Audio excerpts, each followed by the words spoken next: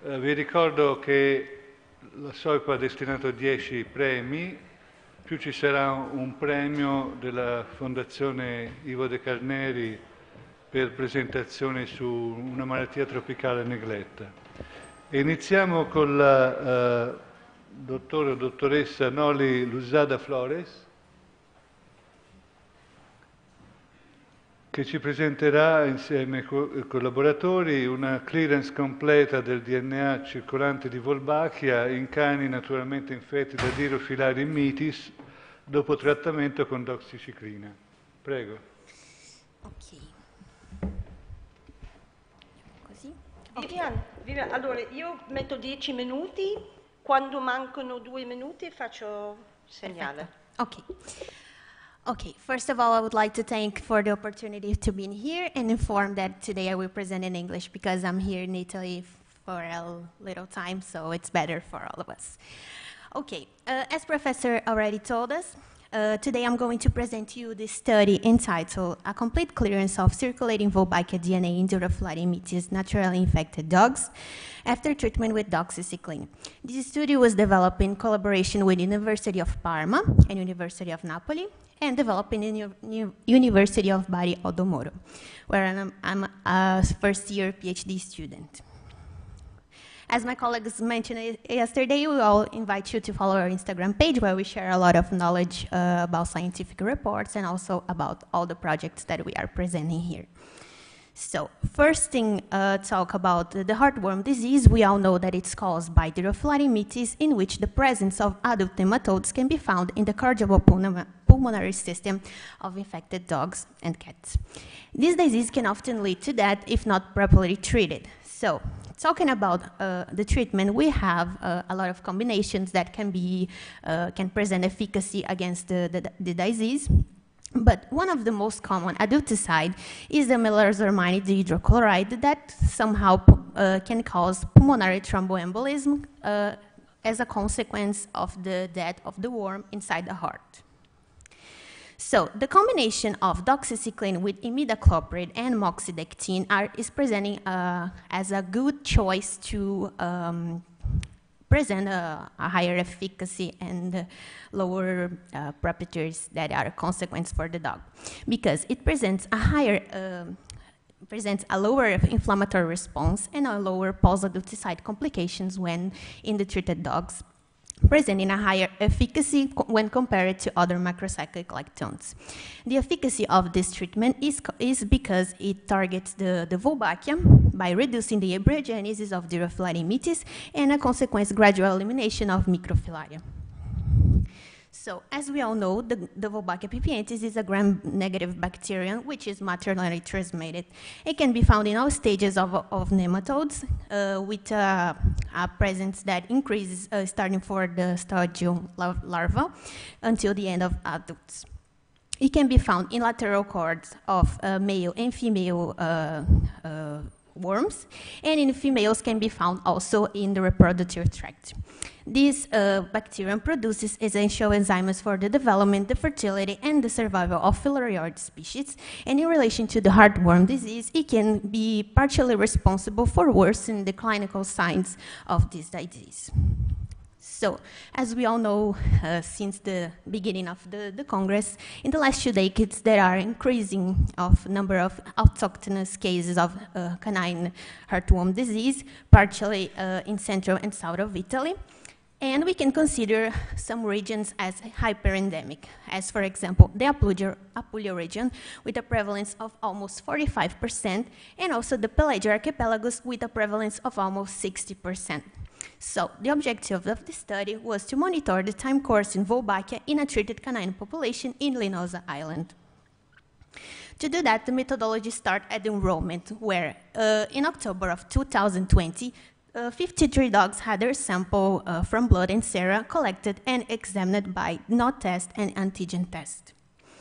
Based on the positive for uh, both tests, the dogs were divided in three groups, uh, when, where the first and the second groups received doxycycline twice a day for four weeks, and the three groups received uh, Advocate monthly until the end of the study, which comprises a time of uh, one year. It's important to say that at the enrollment, all the samples were also uh, screened for the presence of Wolbachia DNA for the FTSZ gene by qPCR. In the two uh, next time points at November and December, the group 1 and group 2 were also screened for NOT antigen and qPCR for Wolbachia. In 2021, uh, the, the last four time the last four time points, January, April, July, and October, uh, all the, the three groups were screened only for antigen test and for the Wolbachia DNA. We did not perform not test in this time point because um, since the, the second time point, the dogs were uh, completely absent of the circulating microfilariae. Uh, okay. Presenting the results of NOT test, we can see here that at the enrollment, 70 dogs were positive for the circulating micro, presented micro, uh, circulating microfilaria, and after uh, two, at December at T2, no dogs were uh, positive for the um, the presence of uh, circulating microfilaria. This is for the group one, which, were the, which was the only positive group for, for the circulating microfilaria. And we can mention also that this rapid reduction is relevant because interrupts this life cycle of the parasite and, as a consequence, reduces the, the reservoir capacity of infected animals. When we see the results of antigen test, we can see that in the group one, we observe, and both groups observe, um, uh, how can I say, um, gradual reduce of the number of positive dogs during the, the whole time points. And at T6, for the group one, we observed that uh, a complete absence of positive dogs one year after this, the start of the treatment. And um, at July for 2021, we observe also a negative, a completely negative for the group two. This can be detected because uh, this, the antigen test can detect low uh, levels of re re residual antigen even after that of the adult heartworm. In relation to uh, Wolbachia results, in blue, we observe the, the results regarding the time point zero at the enrollment uh, uh, before the treatment. And we see here in the, in the blue balls the, the CT of Wolbachia in orange, we see no longer, we don't see no longer uh, more DNA of Wolbachia at T1, uh, indicating that the treatment was successful. So we do not observe also the Wolbachia DNA at the, the first time point onwards until the end of the study. So the conclusion of the, the, the study we can mention as uh, the qPCR of Wolbachia can be uh, used, it can be considered a diagnostic test in naturally infected dogs as a complementary strategy. And its detection can be associated with the circulating microfilaria, as we all know. We can also mention that the doxycycline is highly effective to reduce the microfilaria concentration. And finally, the usefulness of qPCR of Wolbachia DNA can be considered as a reliable and complementary test for the presence of Dirofilaria mitis in dogs. I would like to thank all of you for attention, for the collaborators, the professors, and it's that. Thank you.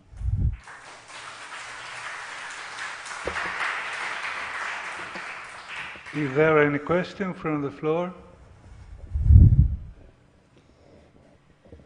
Uh, if not, uh, uh, what do you think about the possibility to follow up uh, for a longer time the, the dogs? Well, uh, as we see that no longer we observe uh, neither the Wolbachia, neither the, the antigen test, uh, the antigen, antigen positive in dogs, and, uh, and neither the, the, the, presence of microfilaria, I don't see that there's a need to monitor those dogs. But obviously, it's also interesting result to provide further information, but we expect that we no longer found because these dogs are being treated. Any other question, please? For a very nice presentation. Um, a question about the clinical aspects. So uh, maybe you, you said at the very beginning and I missed it. Were the dog um, assessed by the clinical stage of infection and were there any side effects observed by the fact that by killing Wolbachia you actually don't know when the adulticidal effect is actually taking place? Thanks. Okay, thanks for the question. Well, the study was developed in Linnaeus Island, which is a highly endemic region. And as side effects of the presence of Wolbachia, we do not observe, but we know that the presence of this bacterium can cause some several, several no, but some side effects during the inflammation of the, the presence of the bacteria. So it can worsen this, this, the clinical aspects. So I think it's that. Last question, please. Gut, what's your gut feeling about this overuse of antibiotics in, uh, in dogs in these alternative protocols? There is any risk, in your opinion, for developing of drug resistance in closely related bacteria, which can cause by themselves some diseases in dogs? So maybe probably if you if you balance risk of benefits of using this alternative protocol, probably there could be the higher risks rather than use the melarsomin or something like that. So uh, I was wondering what's your gut feeling? Yes, in fact, this is a uh, other protocol we can mention, but there is always the, the risk of the resistance that include all the treatments in the bacteria, parasites, and it's a, a risk that we uh, are uh, submitted, we can say.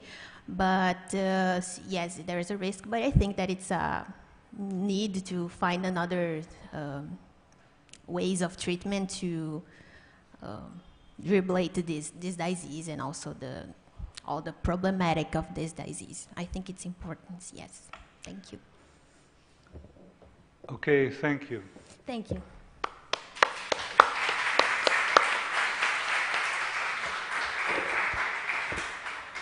Ok, eh, vorrei invitare la dottoressa Barotto Baccazzi che ci parlerà del cross-protective immune modulation in parasitic infections. The Wolbachia surface protein from filarial nematodes determines macrophage activation and killing of Leishmania parasites.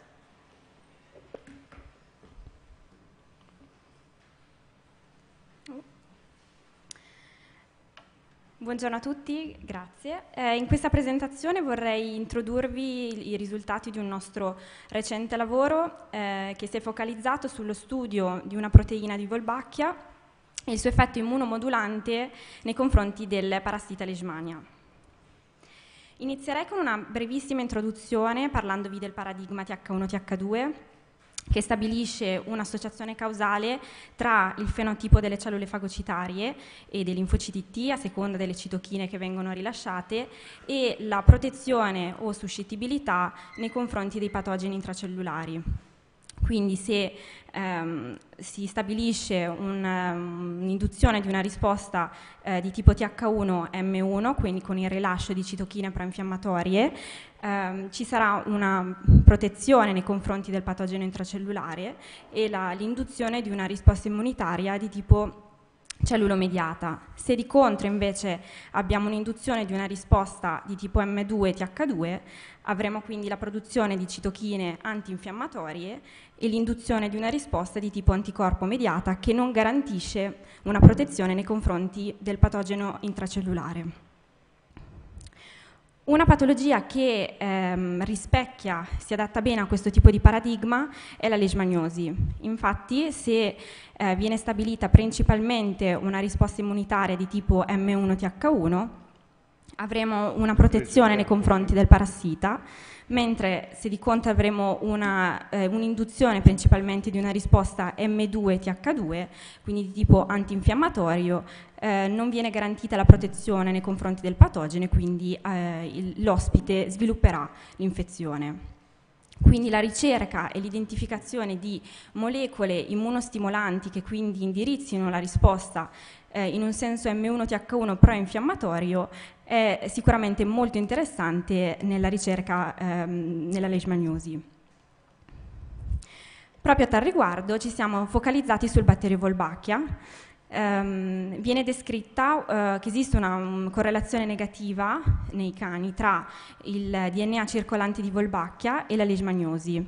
Infatti ehm, eh, viene riportata quindi una, eh, che in cani ehm, dove c'è una presenza di eh, DNA di Volbacchia eh, circolante eh, sia maggiormente associata, quindi è più frequente in cani che non sono infettati da, dal parassita leishmania. Quindi in qualche modo viene descritto eh, come un potenziale eh, ruolo protettivo della Volbacchia verso la leishmaniosi. Questo perché eh, dei pattern molecolari di Volbacchia eh, inducono la stimolazione di una risposta pro-infiammato- pro-infiammatoria M1-TH1 che quindi favorirebbe la degradazione eh, del parassita leishmania. Tra tutte le eh, molecole di Volbacchia ci siamo soffermati sulla eh, Vol- sulla Wolbachia surface protein, che è una molecola immunopolarizzante. Ehm, in molti articoli viene descritto quindi il suo ruolo pro-TH1, infatti la VSP stimola ehm, il rilascio di citochine proinfiammatorie come l'1-beta e il TNF e la produzione di ossido nitrico, che è una delle molecole che il macrofago produce in risposta all'infezione da leishmania. Per questo motivo abbiamo quindi ehm, sfruttato la Wolbachia surface protein ehm, utilizzando come veicolo di espressione il batterio Asaia. Ehm, ottenendo quindi un batterio chimerico Asaia VSP, quindi sfruttando la VSP della Wolbachia del nematode di, di Rofilare mitis.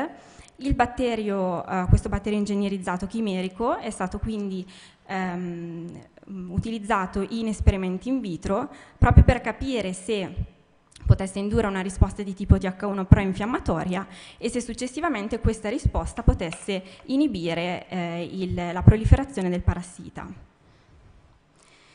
In questa slide ho voluto eh, riassumere il piano sperimentale che abbiamo adottato nei nostri esperimenti, quindi mentre nella parte in alto abbiamo la, eh, quello che succede normalmente quando si infetta un macrofago con il parassita leishmania, quindi il macrofago eh, viene polarizzato in senso M2, quindi con la produzione di citochine antinfiammatorie e si ha quindi associato con la proliferazione del, del parassita. Quello che noi abbiamo fatto è riassunto nella parte bassa del grafico. Abbiamo utilizzato una linea eh, di macrofagi eh, che derivano dal topo C, che è un topo eh, suscettibile all'infezione. Abbiamo quindi prima incubato il macrofago con l'Asaia VSP e poi successivamente con promastigoti di Leishmania infantum.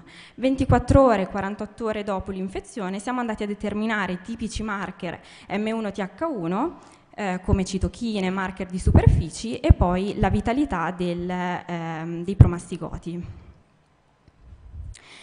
Eh, prima di tutto abbiamo de determinato um, il tasso di fagocitosi, ovvero se il batterio Asaia VSP potesse stimolare ehm, la fagocitosi eh, nei confronti del batterio Asaia VSP stesso. Quindi ehm, come vedete, il, eh, dopo due ore vengono fagocitati molti più eh, batteri Asaia VSP rispetto al batterio controllo, che è un batterio ingegnerizzato ma con un plasmide vuoto senza la cassetta genica della VSP, con un effetto paragonabile a quello determinato dall'LPS, che è il controllo positivo. Um, dopo 24 ore siamo andati a determinare la localizzazione del batterio quindi sulla sinistra vedete macrofagi incubati con il batterio Zaia VSP, quindi si notano molti più batteri internalizzati dal macrofago e ehm, un'intensa attività fagocitica di tipo degradativa perché ci sono numerosissimi vacuoli digestivi. Sulla destra invece ci sono sempre gli stessi macrofagi della stessa linea cellulare incubati con il batterio controllo e infatti si notano più macrofagi eh, non ancora fagocitati, quindi all'esterno, e meno vacuoli digestivi. Uh, siamo andati poi, abbiamo proseguito uh, determinando uh, marker di tipo M1-TH1, quindi citochine proinfiammatorie come il TNF e l'IL-12, Um, in entrambi i casi abbiamo una maggiore produzione di queste citochine da parte di eh, macrofagi incubati ehm, sia con l'ASAIA VSP che l'ASAIA controllo rispetto ai macrofagi non trattati. Lo stesso risultato l'abbiamo ottenuto con, per altre citochine preinfiammatorie, 1 beta e l'IL6, dove si nota una differenza tra, eh, nella produzione di questa citochina quando il macrofago viene incubato con la SAIA VSP rispetto al batterio controllo. Una risposta, um, una differenza molto più netta invece l'abbiamo ottenuta andando a determinare, a quantificare la produzione di ossido nitrico e di specie reattive dell'ossigeno, che sono due molecole chiave che il macrofago produce appunto quando viene stimolato in senso proinfiammatorio. In entrambi i casi vedete come ci sia una differenza statisticamente significativa tra eh, la, la SAIA VSP e la SAIA eh, controllo per entrambi i i marker determinati. Vado veloce sulle molecole costimolatorie, anche in questo caso abbiamo l'espressione di molecole di superficie, di MHC, da parte del macrofago incubato con la VSP, solo per farvi vedere la percentuale di macrofagi che esprimono queste molecole sia maggiore rispetto al batterio controllo, al batterio incubato solo con la leishmania. Passo alla slide più interessante dove ehm, abbiamo determinato proprio il killing della leishmania, quindi siamo andati dopo 24 ore, 48 ore, abbiamo recuperato le cellule, le abbiamo colorate, abbiamo determinato il numero medio di amastigoti. Eh, questo è il risultato dopo le 48 ore. Come vedete c'è una riduzione del numero medio di amastigoti, ehm, quando il macrofago viene eh, incubato con la ZAE-VSP rispetto al macrofago incubato solo con la leishmania, quindi senza il pretrattamento, c'è una riduzione eh, del più del 50% con un effetto sovrapponibile a quello dell'anfotericina B. E questo fenomeno viene eh, si può vedere anche dalle immagini al GIMSA, dove ci sono, mh, questo sono un gruppo di macrofagi incubati con la VSP, ci sono numerosi ehm, vacuoli, gli amastigoti all'interno sono, ehm, in sono in degradazione, hanno perso l'integrità delle membrane, mentre ehm, quando il macrofago non viene pretrattato col batterio ci sono moltissimi eh, promastigoti ancora fuori e gli amastigoti all'interno sono in replicazione e vitali. Quindi diciamo che ehm, la SAE VSP induce una forte riduzione eh, del numero di amastigoti, quindi determinando il killing eh, di promastigoti di Leishman infantum. Quindi in conclusione possiamo dire che il batterio Zaia VSP induce una risposta proinfiammatoria di tipo M1-TH1, determinando quindi questa, proprio questa risposta immunitaria eh, induce a un effetto anti-leishmania nei confronti del parassita e quindi mh, si sottolinea nuovamente l'effetto immunomodulante della VSP, il ruolo della SAIA come eh, veicolo e quindi il, il, batterio chimerico Asaia VSP può essere considerato come un batterio terapeutico immunomodulante. Grazie, grazie a voi per l'attenzione.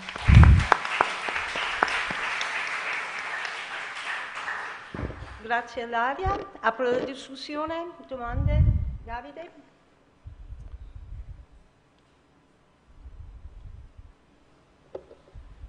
Sì, grazie Ilaria, bellissima presentazione, splendido lavoro.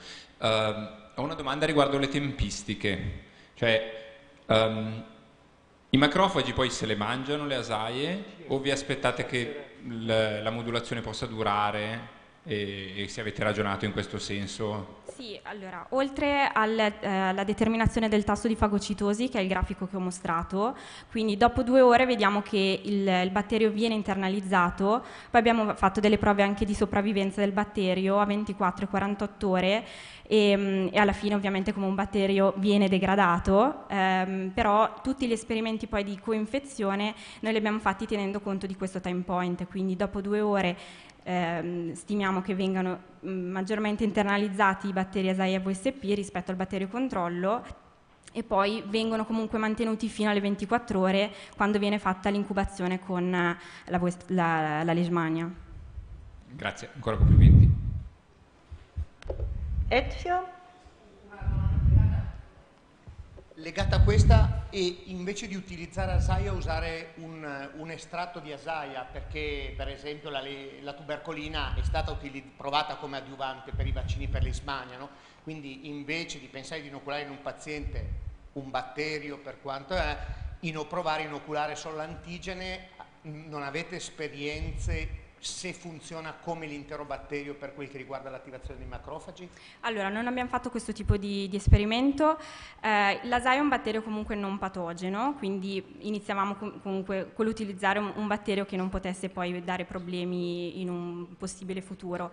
Quello ehm, che volevamo però eh, sfruttare è proprio il batterio stesso come veicolo per l'espressione e la produzione dell'antigene, in una sorta nel contesto per esempio dell'Hive Bacterial Vaccine, sfruttare il batterio e le sue proprietà intrinseche, quindi il tropismo verso le cellule fagocitarie, ehm, la, la, stessa sua funzione d'adiuvante, certo rimane comunque, però il, ehm, la capacità di veicolare molto più efficacemente eh, l'antigene eh, e quindi stimolare una risposta efficace di tipo cellulomediata che altrimenti dando solo l'antigene eh, non avresti come risposta completa. Grazie Laria. Eh, purtroppo non c'è più tempo, passiamo al prossimo o alla prossima candidata che lascio al Presidente presentare.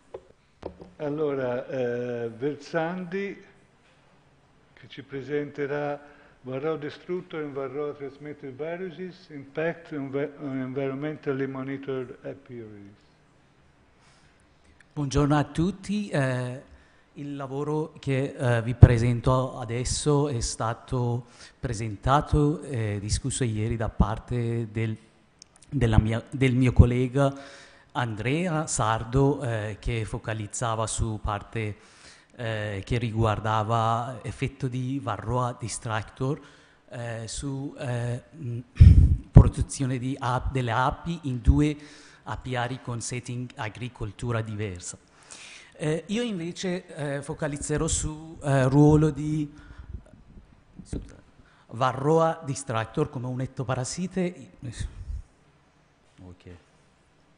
Eh, su effetto di Varroa distractor, un ettoparassite che trasmette due virus, dei sei virus più importanti in produzione delle api, eh, virus di eh, paralisi acuta e ali deformi, che sono presenti in eh, eh, eh, prevalenza basso in apiari diversi, maggiore apiari eh, a livello mondiale, eh, ma vengono mh, mm, infezione di questo virus aumenta acco, accompagnato con aumento di infestazioni di varroa.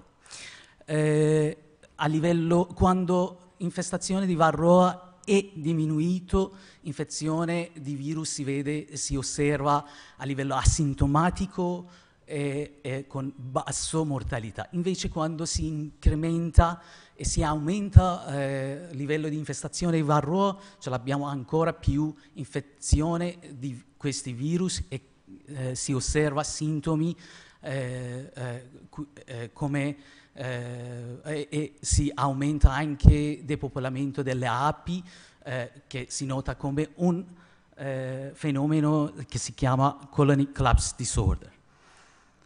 Eh, come ho detto prima, questa sinergia farà eh, presenza di infestazione dalla parte di varroa, infezione con le api, con eh, i virus, causano diversi sintomi che a livello di virus alideformi e patognomonico, eh, come problemi a livello di covata o, o alideformi, invece per il virus paralisi acuta solo si vede a livello di mortalità e depopolamento delle api.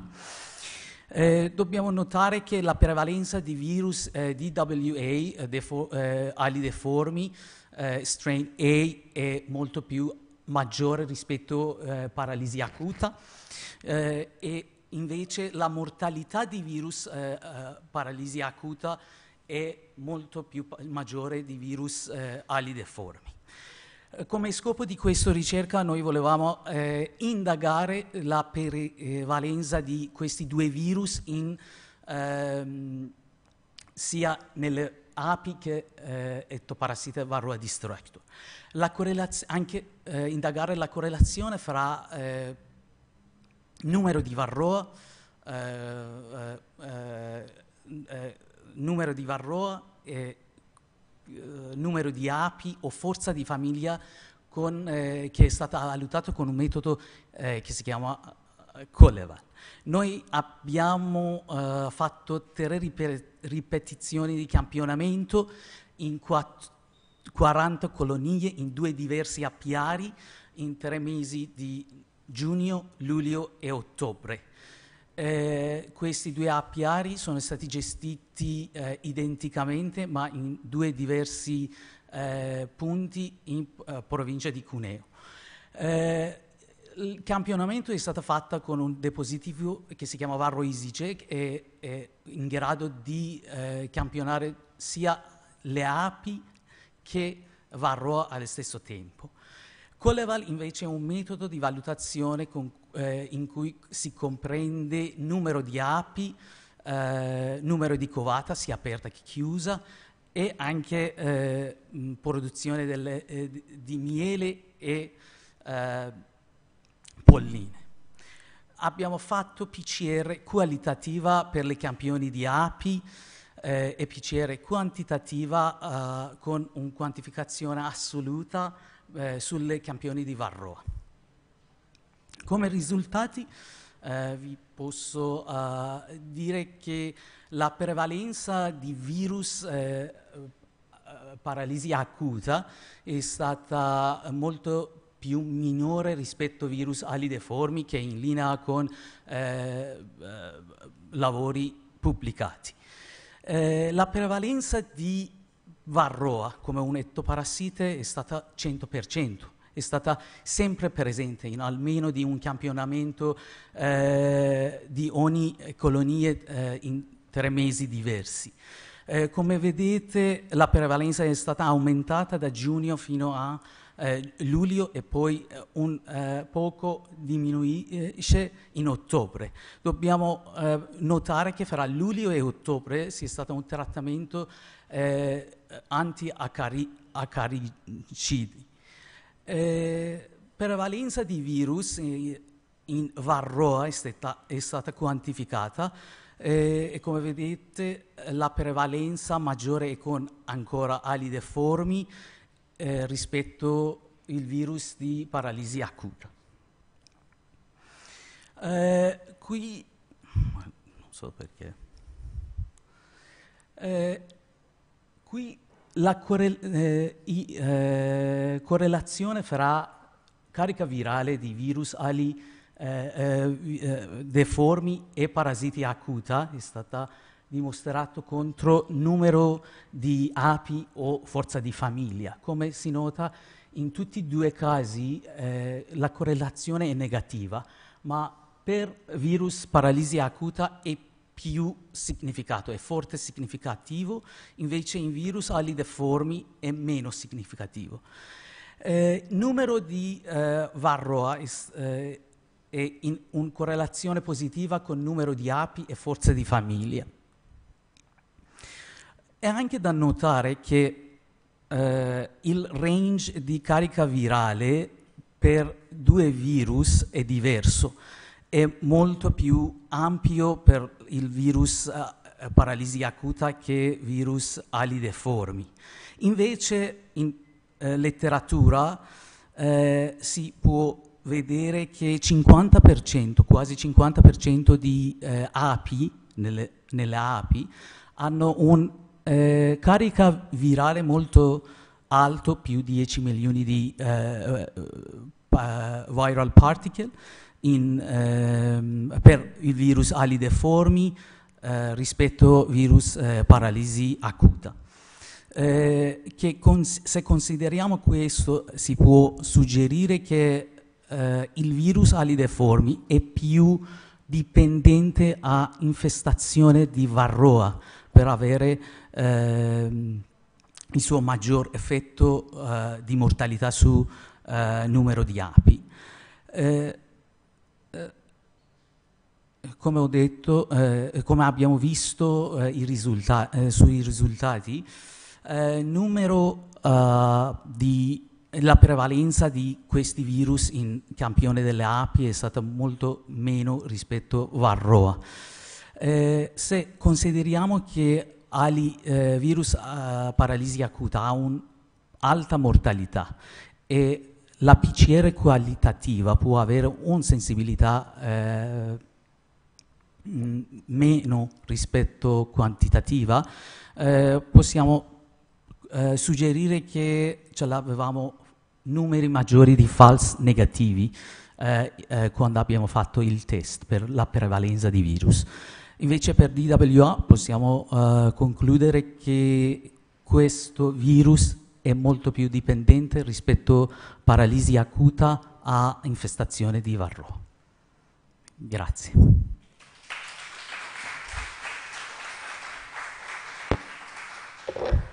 Grazie, ho rimasto perfettamente eh, nei tempi. Domande? Posso fare una io? Oh, scusa, scusa, c'è? Sì, sì.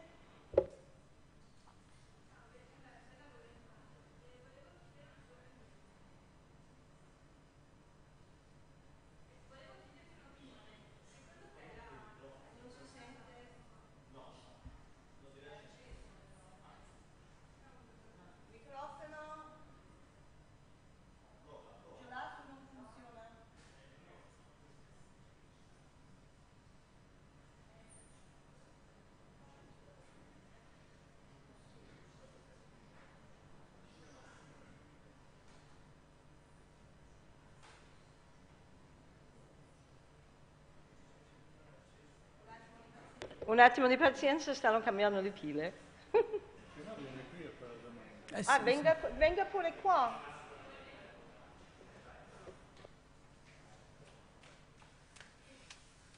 Ma secondo te la varroa agisce solo come vettore meccanico o può esserci un suo ruolo come vettore biologico nel trasmettere questi virus eh, negli apiari? La, la varroa può eh, agire solo come vettore meccanico o può avere qualche ruolo come eh, anche vettore biologico nella trasmissione di questi virus? Eh, comunque è stata dimostrata che il virus eh, si replica anche nella varroa se stessa, quindi eh, sicuramente ce l'ha anche il ruolo biologico in trasmissione virale. Posso fare? Sì, sì, volevo fare una domanda perché può darsi che non abbia capito. Allora, la quantificazione sia di varroa che del viral load dentro Varroa, okay? effettuati che avete fatto. E lo scopo della quantificazione mh, hm, è mirato a capire se abbassando sotto una certa soglia Varroa il rischio di trasmissione virale si azzera o, o, o, si abbassa di molto. Cioè ho capito che era questo lo, lo scopo della quantificazione. Di quantificazione eh, carica virale intende? Entrambi le... avete quantificato gli acari, numero di, sì, il numero acari. di acari e poi il, virus all'interno dei... Eh, eh, noi come quantificare eh, mh, eh, carica virale in Varroa, mm, sì. Eh, volevamo sapere la, uh, come è la dinamica di trasmissione, quanto è, può essere, eh, eh, quanto effetto ha la varroa, perché su alcuni virus eh, sono stati fatti più lavori, per esempio ali deformi, su alcuni di meno. Quindi eh, volevamo sapere che anche su altri virus che stanno eh, questa dinamica, questa trasmissione, come rispetto agli altri e anche in eh, relazione con il numero di varro. Esattamente quello che volevo sapere, grazie. grazie. Altre domande? Ok, grazie. No, ce n'è una ah, là. Ultima. Veloce, eh, tanto complimenti, è sempre affascinante parlare di api. Eh, eh, c'è una possibilità di discriminare la mortalità tra Varroa e invece dalle forme virali? L'avete considerato? I, i forme? I Delle for forme virali? Ah, eh, noi eh, la mortalità non abbiamo oh, eh, valutato in questo studio, solo volevamo sapere la relazione con i dati di eh, a, uh, forza di famiglia, di api, e dati che ce l'abbiamo da um, uh, un finestra di produzione.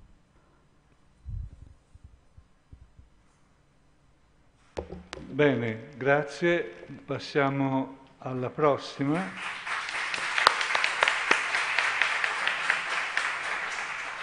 Invito quindi la dottoressa, no, dottor Villa. No, vedevo, avevo visto una, una, ragazza che si muoveva. Sì, perché non abbiamo, abbiamo solo il cognome, non abbiamo il nome, che per cui abbiate pazienza. Ci presenterà il lavoro Prevalenza molecolare di, Babesia can, di infezione a Babesia canis in Dermacento reticulatus, eh, zecche eh, Dermacento reticulatus raccolte in un parco naturale in Italia. Prego. Grazie. Buongiorno a tutti.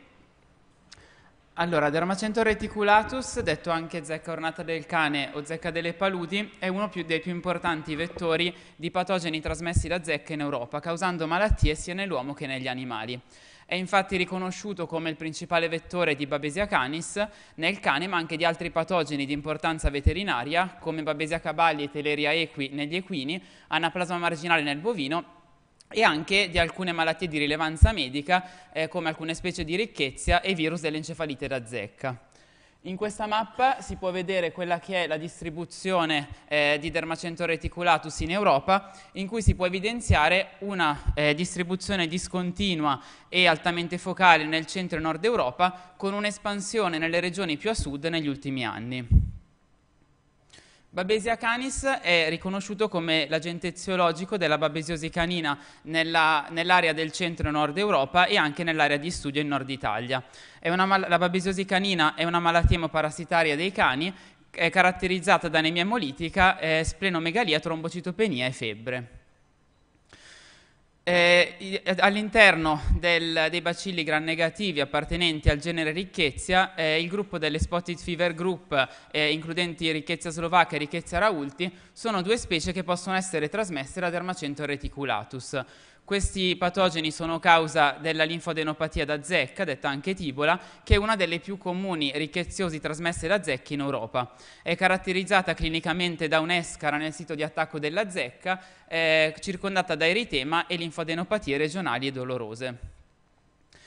Considerando questi due studi che sono stati condotti nell'area di studio, eh, in particolare un primo studio che aveva rilevato un focus di dermacento reticulatus associato a, cani di Babesia, a casi eh, di Babesia canis nei cani dell'aria e un ulteriore studio sulle dinamiche stagionali di dermacento reticulatus eh, in un parco periurbano in Nord Italia il presente lavoro aveva come obiettivo quello di eh, indagare eh, su patogeni potenzialmente trasmessi da Zermacento reticulatus raccolti in un parco naturale in Italia e valutare in questo modo quelli che erano i rischi per gli ospiti umani e animali.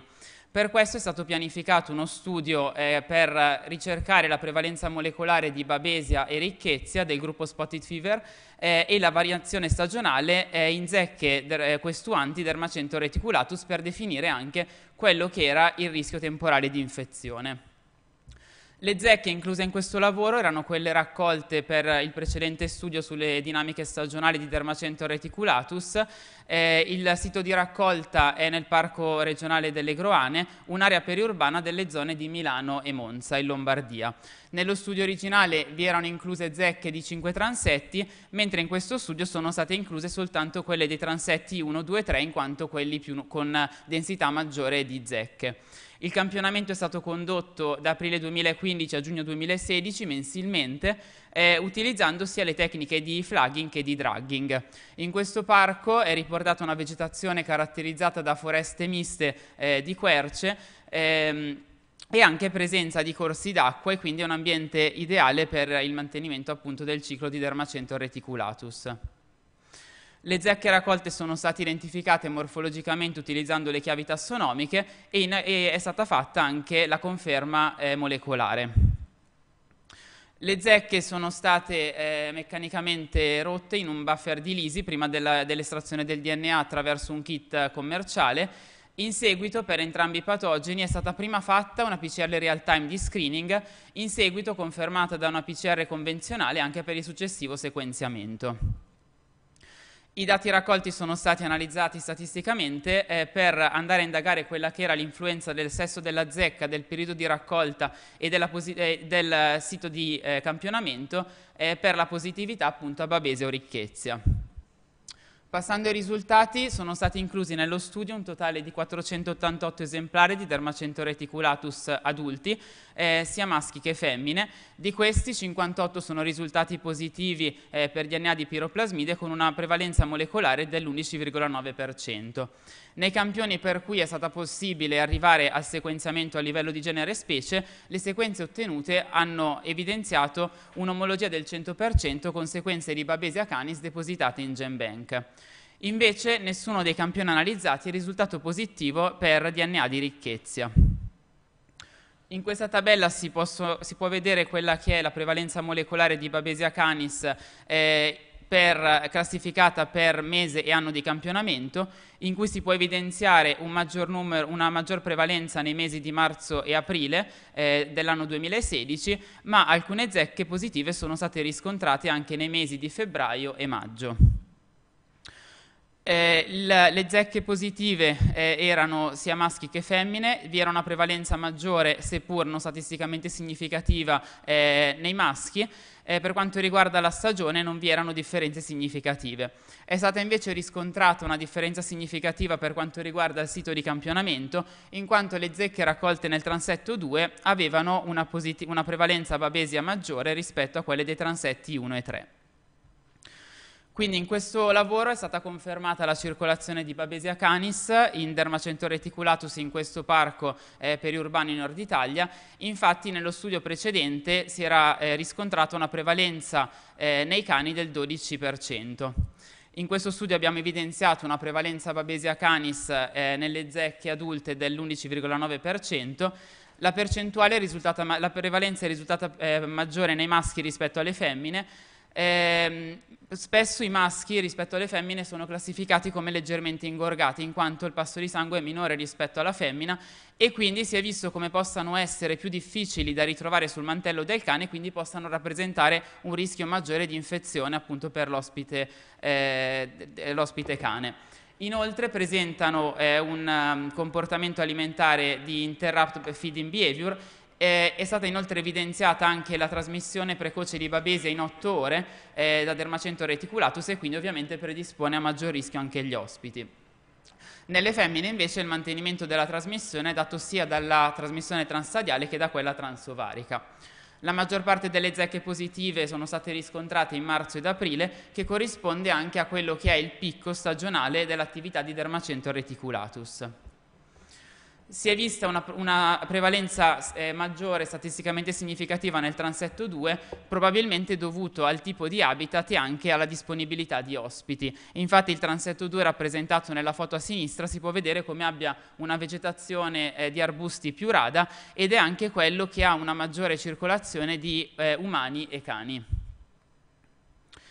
Eh, sono stati riportati casi clinici di babesiosi canina da Babesia canis in Europa. Inoltre in questa tabella sono riassunti quelli che sono gli studi riguardanti eh, lo screening molecolare su zecche raccolte appunto in campo, in cui si vede che la prevalenza è variabile da valori prossimi allo zero fino a valori eh, del 20% eh, è stato visto come eh, in una recente review e meta-analisi la distribuzione globale di Babesia si è stimata una prevalenza del 2,1% associata a diverse specie eh, di Babesia in Dermacento reticulatus ma con Babesia canis quella maggiormente rappresentata. Ad oggi non sono riconosciuti degli ospiti reservoir per Babesia canis riguardo appunto il ciclo enzootico, eh, pertanto si è eh, speculato su quello che possa essere il probabile ruolo da reservoir appunto nei cani nel ciclo di vita. Questo fatto potrebbe anche spiegare, come già riportato in letteratura, la recente diffusione geografica eh, della babesiosi canina con l'introduzione in popolazioni locali di Dermacento reticulatus di cani infetti eh, e il mantenimento in seguito a breve termine eh, tramite la trasmissione transovarica e transstadiale nelle zecche. Non è stata invece evidenziata la circolazione di ricchezze del gruppo Spotted Fever, eh, si è vista una prevalenza variabile di ricchezza Rault in dermacento reticulatus in Europa, mentre ricchezza slovacca solitamente si trova solo con basse prevalenze, in quanto è maggiormente, causa- è maggiormente trasmessa da dermacento marginatus. Eh, le zecche si è eh, pensato che, potess- che, possano essere i maggiori reservoir di queste eh, ricchezze ma probabilmente anche degli ospiti vertebrati dovrebbero essere necessari per mantenere eh, questi agenti in natura. L'assenza quindi nel nostro studio potrebbe essere dovuta alle caratteristiche dell'area di studio in quanto è un parco relativamente piccolo con una limitata eh, biodiversità animale. Infatti è documentata la presenza di micromammiferi, cani e cavalli, ma non di ungulati selvatici. Concludendo, eh, in questo lavoro abbiamo, abbiamo, praticamente rilevato la circolazione di Babesia canis in questo parco periurbano, probabilmente appunto per la presenza regolare del cane, eh, mentre invece non è, non è, stata rilevata la circolazione di ricchezze del gruppo Spotted Fever, probabilmente per la mancanza di ospiti vertebrati appunto per il ciclo di questi agenti.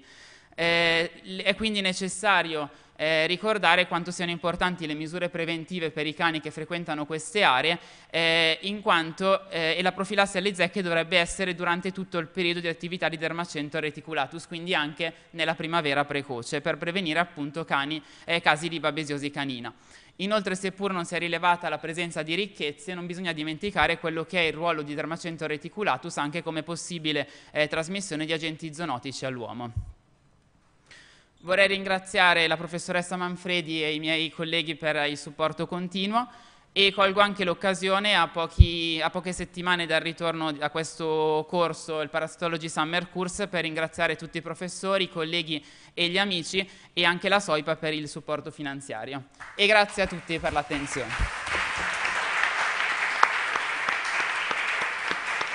Bene, è stato nei tempi, no?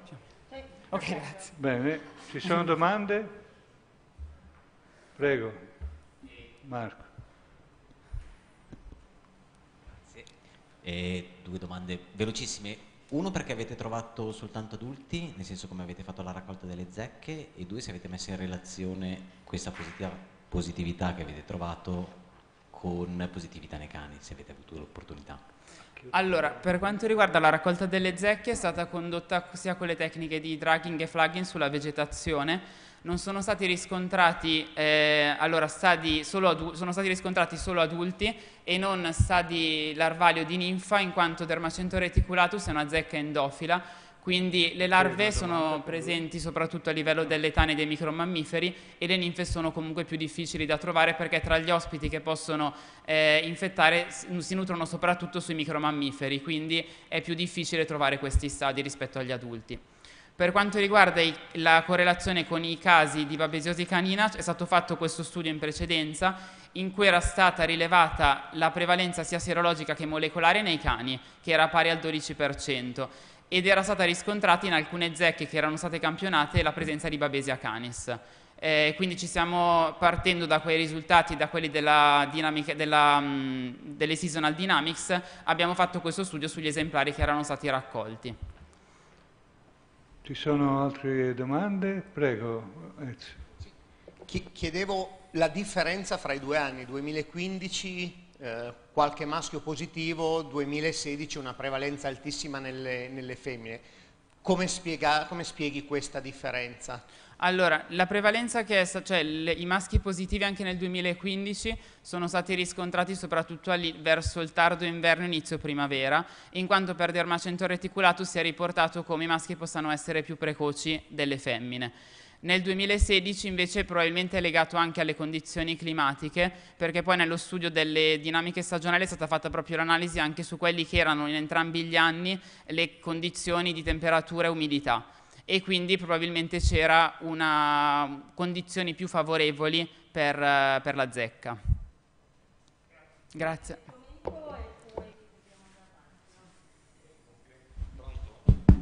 Complimenti.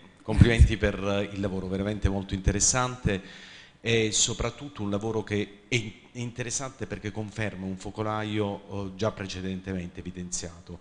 Ora è importantissimo nello scenario delle malattie trasmesse da artropode nel cane, da zecca nel cane in Italia perché è la prima volta che si sa che c'è un focolaio endemico di eh, dermacento reticulatus e quindi potenzialmente di Babesia canis, anzi avete trovato anche casi di Babesia canis. La mia domanda è, eh, pensi che si possa, possa avvenire una, una uh, espansione attraverso la dorsale appenninica, per esempio anche in centro e sud Italia, di questa zecca, di questa zecca che sappiamo non era presente eh, in Italia del Nord e nemmeno in, in tutta la penisola perché era tipicamente de, è tipica centro, no? del centro Europa e di altre eh, regioni in Europa. Cioè i, i cambiamenti climatici, tutto sì. ciò che sta avvenendo, pensi possa influenzare in positivo o in negativo questa espansione? Allora, penso io penso che il cambiamento climatico possa influenzare in negativo l'espansione, cioè che possa espandersi maggiormente anche verso il centro Italia. Come non ci si aspettava di ritrovare Dermacento reticulatus in Nord Italia, in questa zona, perché era, si presumeva che era solo in centro-nord Europa, diciamo che visti tutti i cambiamenti e viste le dinamiche anche delle zecche, penso che possano trovare condizioni favorevoli anche verso il centro Italia. Bene, grazie. Grazie. Allora, eh, passiamo alla dottoressa Bertola che ci parlerà dello sviluppo di un sistema geoepidemiologico integrato per la eh, valutazione del rischio occupazionale di patogeni tick-borne. Prego. Buongiorno. Allora sì, parlerò di questo approccio che vede eh, la collaborazione di vari enti per eh, un progetto di One Health. Allora, sappiamo tutti che la maggior parte delle eh, patologie trasmesse da vettori in Europa eh, riguarda le eh, tick-borne pathogens e che il vettore principale di questi è Ixodes ericinus. Negli ultimi anni si è assistito, per una serie di fattori interconnessi, all'incremento dell'interfaccia, delle interazioni, del contatto tra eh, zecche, patogeni e ospiti. E, ehm, mh, principalmente per un aumento della condivisione dell'habitat di questi tre eh, componenti.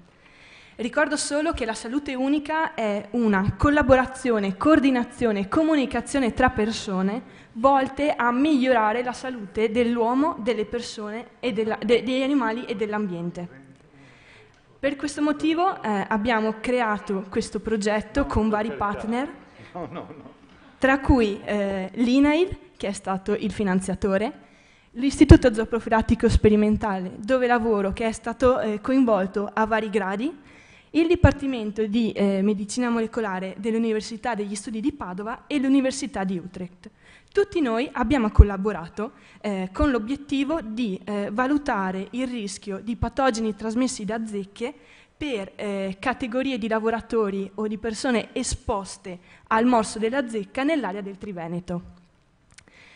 I materiali e metodi possono essere raggruppati in tre grandi categorie. La prima vede eh, le zecche come eh, componente principale e quindi la presenza e la composizione delle specie di zecche sia storicamente rilevate che attualmente presenti nel territorio. La seconda parte dei materiali e metodi riguarda lo screening per cui i patogeni trasmessi da zecche in animali selvatici e domestici, zecche e eh, uomini, eh, persone residenti nell'area. L'ultimo punto si compone eh, di eh, dati eh, ambientali e meteorologici. Tutti questi dati sono stati modellati insieme, insieme per definire le nicchie ecologiche delle zecche e predire eh, le preferenze di habitat. Come risultato finale vorremmo produrre delle mappe di rischio di esposizione a patogeni trasmessi da zecche da diffondere ai cittadini. Qui vedete la timeline del progetto, non è finito, abbiamo eh, completato la prima parte di raccolta di dati eh, sia storici che di nuovi campionamenti di zecche, sono stati prelevati sieri di animali domestici e selvatici e sono stati raccolti dati su popolazioni animali. Eh, stiamo ultimando gli ultimi campionamenti zecche, eh, le, la loro identificazione morfologica e analisi molecolare, inoltre stiamo anche finendo di screenare i sieri animali e stiamo attendendo i sieri umani. Eh, a breve e sono preliminarmente cominciate le analisi GIS eh, di modellazione delle nicchie, della valutazione del rischio e dell'implementazione di un portale. Per quanto riguarda i dati storici delle zecche, eh, abbiamo raccolto i dati eh, del laboratorio dal 2006 al 2017 con più di 12.000 zecche, esemplari di zecche raccolti e campionati, eh, analizzati e eh, da questi sono stati ehm, eh, segnalati più di 1200 casi di patogeni presenti nelle zecche. I nuovi campionamenti invece hanno coinvolto due anni di campionamento, 2020-2021 in Veneto e Friuli, sono stati effettuati tramite drugging eh, a cui è seguita l'identificazione morfologica e molecolare eh, dei patogeni presenti nelle zecche e i dati sono stati elaborati per quanto riguarda la prevalenza di questi ultimi. I eh, dati sugli animali coinvolgono sia eh, ruminanti domestici, quindi greggi e transumanti presenti nel territorio eh, storicamente endemico per patogeni, e eh, sieri di animali selvatici prelevati tramite sistemi di sorveglianza passiva. Eh, le analisi delle nicchie ecologiche hanno visto eh, la creazione di un database eh, con parametri sia ambientali che meteorologici a cui sono stati abbinati i dati di eh, ritrovamento di patogeni nelle zecche con relativa georeferenziazione. Tutto questo è stato modellato per definire appunto le nicchie ecologiche e studiare la relazione tra la presenza di questi patogeni e gli animali presenti nell'area. I risultati preliminari. Allora, le zecche. Le zecche eh, sono state cam campionate recentemente, quindi 2020-2021, sono state 1388. Eh, la positività dei pool è stata superiore al 50% e la positività si riferisce principalmente a ehm, ricchezia, ai generi ricchezia, eh, anaplasma e babesia tileria è interessante notare come l'8% delle zecche risulti co-infetto o con infezioni multiple in caso di pool. Non è stata trovata né TBE né Crimean Congo Hemorrhagic Fever. Le pecore. Le pecore provengono da due greggi transumanti nella provincia di Belluno. Abbiamo eh, screenato 403 sieri e anche qui eh, più della metà dei sieri, più del 53%, è stato trovato positivo per anticorpi, principalmente per borrelia e ricchezia, ma vediamo come nei due eh, greggi eh, le prevalenze e le positività siano nettamente differenti. Qui eh, la, eh, la, positività a più di un anticorpo è eh, risultata essere del 30% e in particolare ehm, per eh, i generi Borrelia e Ricchezia. Qui vedete l'implementazione che eh, sta per essere disponibile sul sito dell'INAIL, quindi una pagina dedicata per informare le categorie di lavoratori esposti ai rischi di infezione da zecche e eh, fornire misure preventive. Per quanto riguarda i risultati preliminari delle nicchie ecologiche, eh, mh, si è visto che anaplasma è principalmente correlato con indici di vegetazione autunnale, mentre borrelia è più definita per temperature basse e eh, altitudine. Eh, spero che a breve sia eh, disponibile la mappa con le aree eh, a rischio per i patogeni e che possa essere disponibile per i cittadini. Io ringrazio per l'attenzione e ho finito. Bene, ci sono domande? Marco.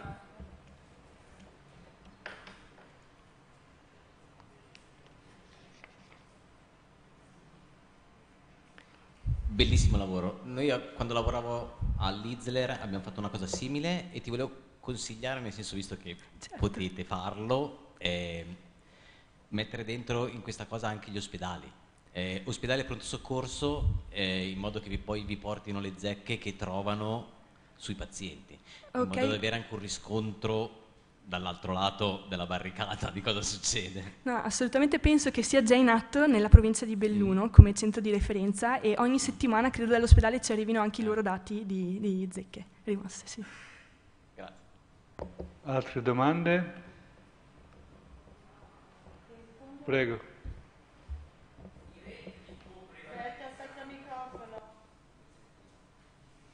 I rate di coprevalenza, di, di coinfezione che vedete, avete provato a guardare se dai numeri vengono fuori casualmente o sono significativi? No, ancora no, sono risultati preliminari, ci ho guardato ancora poco, ma alla fine del progetto conto di fare anche queste valutazioni. Ancora una, una domanda? Complimenti per, il, complimenti per, il, lavoro. Solo una curiosità, qual è la risoluzione spaziale del modello Maxent che avete in mente e che tipo di dati eh, di temperatura e umidità, se sono Landsat, Modis, o se avete dei dati puntuali presi Guarda, sul terreno. Ho, ho tutto un dataset di variabili, poi ho il computer e ti faccio vedere tutto, ma è complicatissimo e lunghissimo. Sono più di 19 variabili e il livello di definizione vado, vado a vederlo. Altre domande? Abbiamo tempo per una, se volete. No? Allora possiamo andare avanti. Grazie.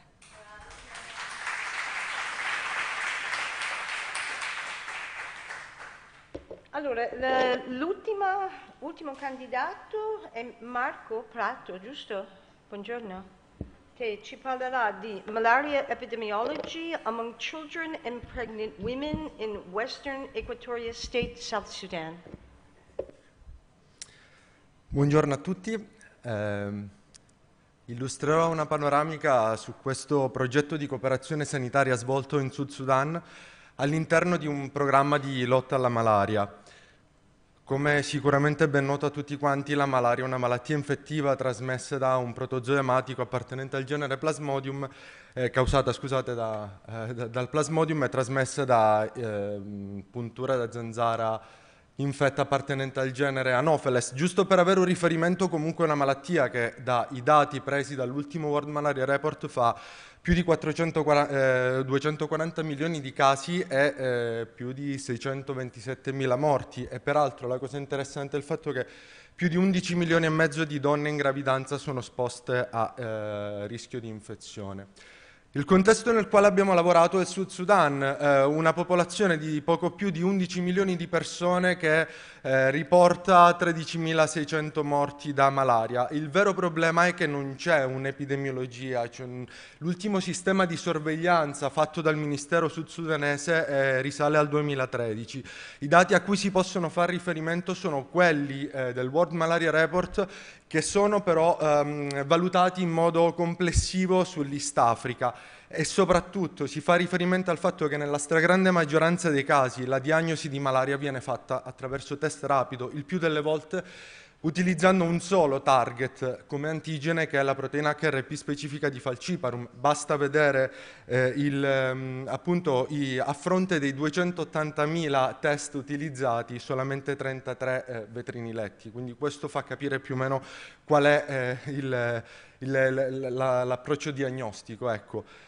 Da un punto di vista geografico, come dicevo, il Sud Sudan si trova in una zona praticamente ad alta endemia malarica e eh, soprattutto, sebbene non abbiamo dati confermati per lo Stato in particolare, ma sappiamo che tutti quelli che ci sono intorno eh, sicuramente sono ehm, hanno il problema del comincia a circolare ecco, la delezione genica relativa alla proteina HRP e soprattutto eh, il, fatto che probabilmente non si ha solamente la circolazione di una specie plasmodiale eh, quale falciparum, ma potrebbe benissimo esserci anche un, la, la- la distribuzione appunto e la diffusione di Plasmodium vivax. Inoltre sappiamo anche qui che è già stato riportato che nei paesi limitrofi eh, circolano eh, i geni di resistenza appunto alle, alle artemisine. Pertanto il nostro studio si inserisce all'interno di un progetto più grande coordinato dall'ONG QAM che mira sostanzialmente a ehm, robustire la risposta nelle tre fasi di prevenzione, diagnosi e trattamento del- della malaria. Eh, è un progetto che è stato eh, finanziato dall'Agenzia Italiana di Cooperazione e Sviluppo e eh, patrocinato chiaramente dal Programma Nazionale di Controllo della Malaria e dal Comitato Etico e dal Ministero ovviamente della Salute del Sud Sudan. L'obiettivo, il- lo scopo del nostro studio qual è? Quello di cercare, è stato quello di cercare di, ehm, di colmare questo gap conoscitivo che c'era eh, proprio eh, riguardo alle informazioni eh, sul- sulla circolazione del, eh, del- del parassita, in modo tale da poi poter proporre delle soluzioni nelle tre fasi appunto di prevenzione, diagnosi eh, e cura, in particolare in una zona del Western Equatoria in Sud Sudan.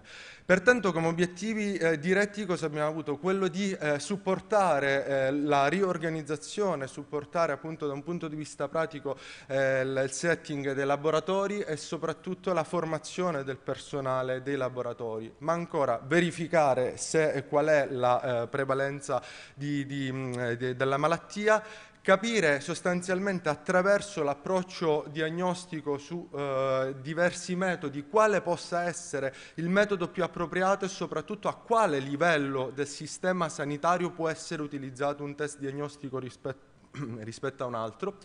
Attraverso indagini molecolari verificare se realmente tutte le malarie viste in Sud Sudan sono date da Plasmodium falciparum o vi è la eh, presenza di altre specie Misurare quante di queste specie di Plasmodium falciparum non esprimono l'HRP e quindi eh, vengono non diagnosticate dai test rapidi e quale sia in realtà la circolazione di geni di resistenza. Ovviamente restituire questi dati alle autorità locali.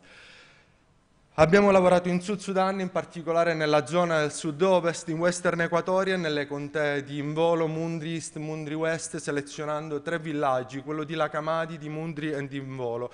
Abbiamo coinvolto invece l'ospedale di lui, che è patrocinato da QAM, ehm, eh, come, come centro di riferimento e Quality Control Center.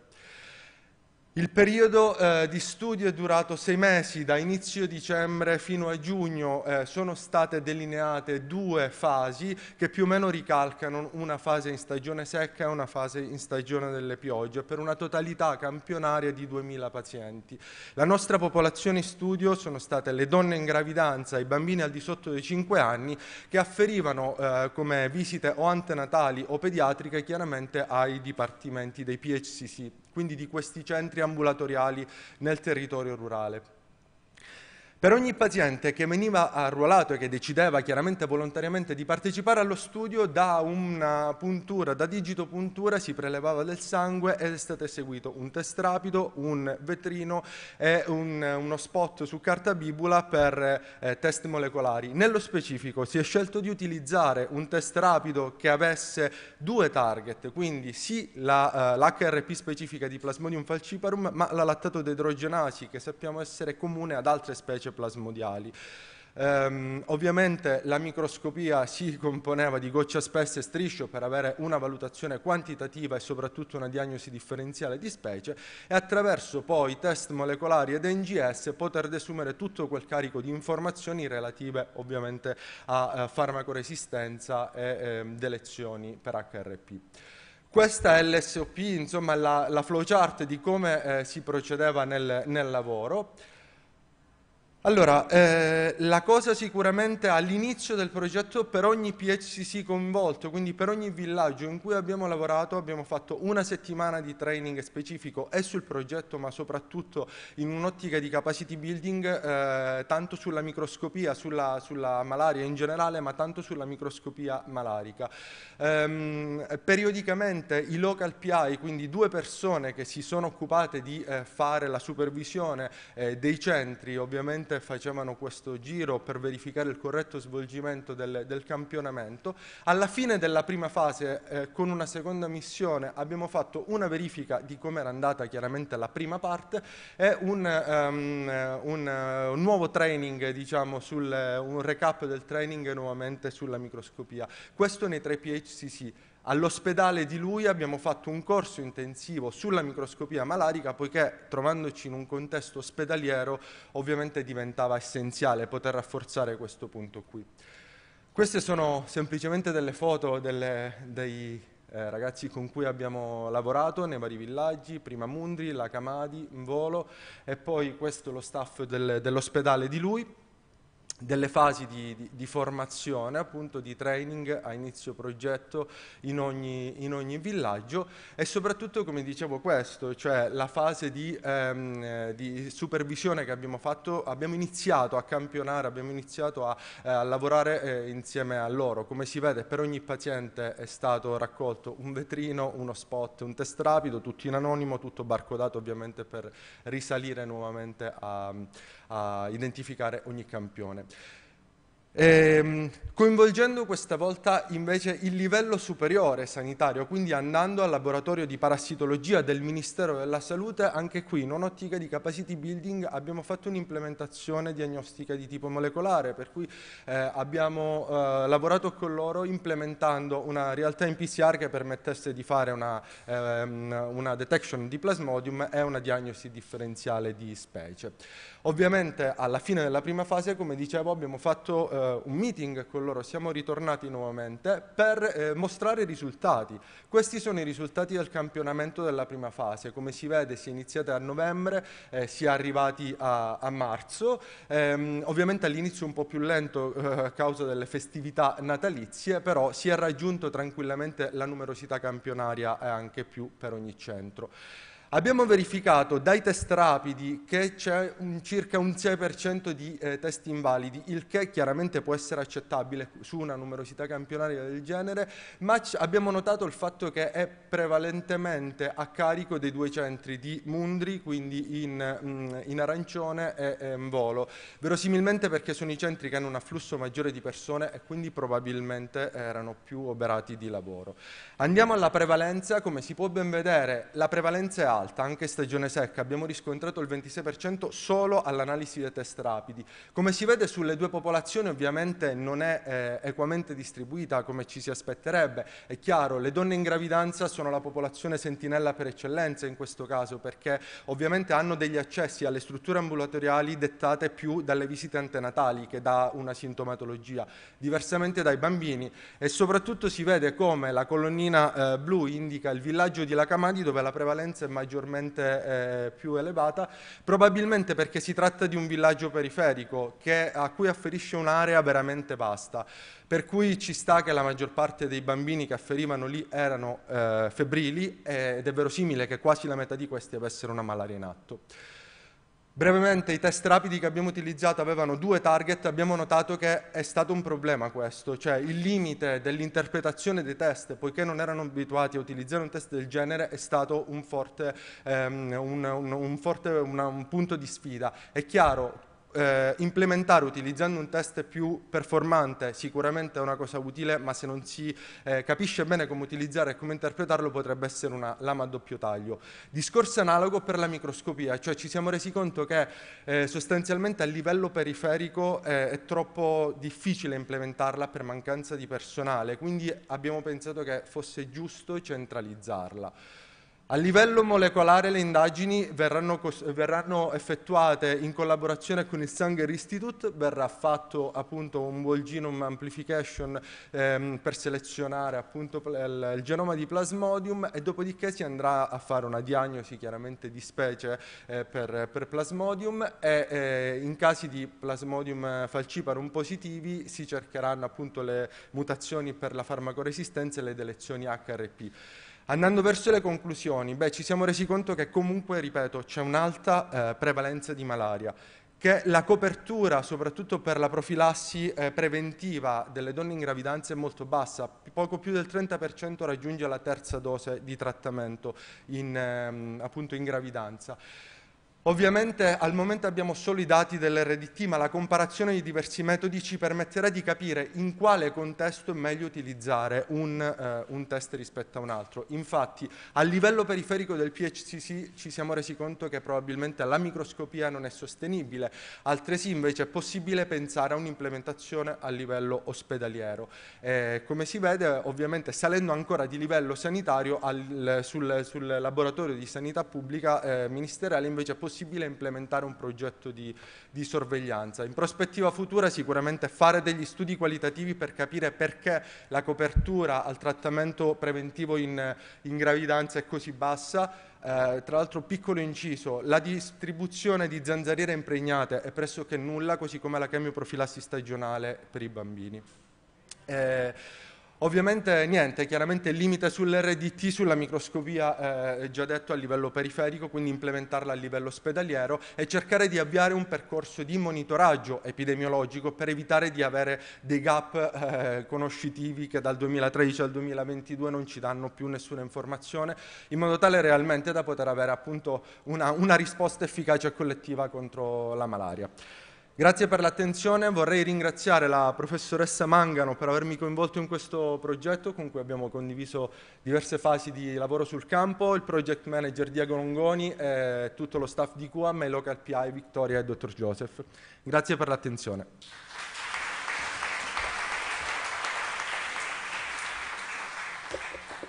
Grazie Marco, un po' oltre i tempi, però abbiamo tempo per qualche domanda in fondo. Marco Pombi? È giusto, sei tu. Mm.